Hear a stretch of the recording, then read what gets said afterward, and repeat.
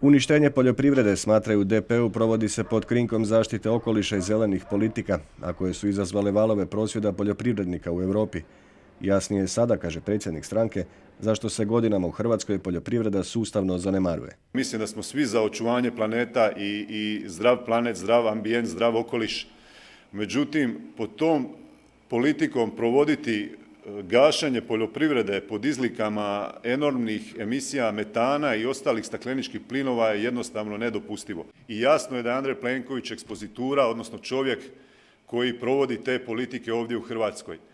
Nek hrvatski narod ne bude naivan, utišali su se sada i pučani u Europi, Andrej Plenković, pa vidimo da ministrica obilazi hrvatska sela, jednako kao premijeri pričaju o pustim milijunima i milijardama koje su upumpali u hrvatskog seljaka i hrvatsko selo, međutim brojke su neoborive.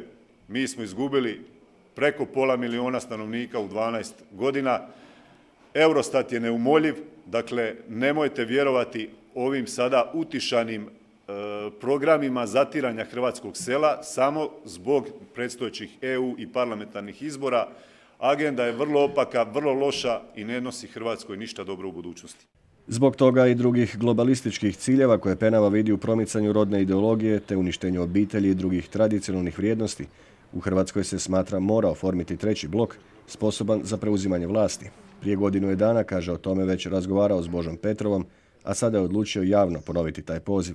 Da uđemo u razgovore i oformimo koaliciju koja će biti neizbježan faktor formiranja bilo kakve buduće hrvatske vlade, a samim time i jamac, odnosno jamstvo za ove politike koje sam spominjao. Za zaštitu obitelji, za zabranu rodnoj ideologiji, za sigurnu hrvatsku granicu, za jaku poljoprivredu i to su ciljevi kojima ne smije biti podređen ničiji, ničije, odnosno nadređen ničije ime, ničiji ego, ničija taština. Za subotu je najavljen prosvjed ljevih stranaka u Zagrebu protiv vlasti HDZ-a, a nakon izbora Ivana Turudića za glavnog državnog odvjetnika, na koji nisu službeno kao stranke pozvani niti Most, niti Domovinski pokret. Što mislim da je iz aspekta djelovanja oporbenih stranaka pogrešno, ali kako sam i rekao, našem članstvu smo poručili da ukoliko imaju potrebu se odazvati,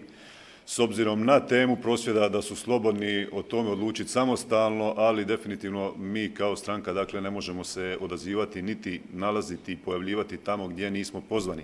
Upravo zbog toga što je Ljevica najavljenim prosvjedom isključila most iz kombinacija za formiranje buduće vlade, Penava smatra kako bi treći blok bio kvalitetno rješenje za zaštitu nacionalnih interesa i suverenističkog načina promišljanja. Na nekoliko upita novinara o mogućoj koaliciji s HDZ-om, Penava je rekao kako u obzir dolaze svjetonazorski i bliske stranke, a kako jedino ne mogu pregovarati sa SDSS-om i Možemo.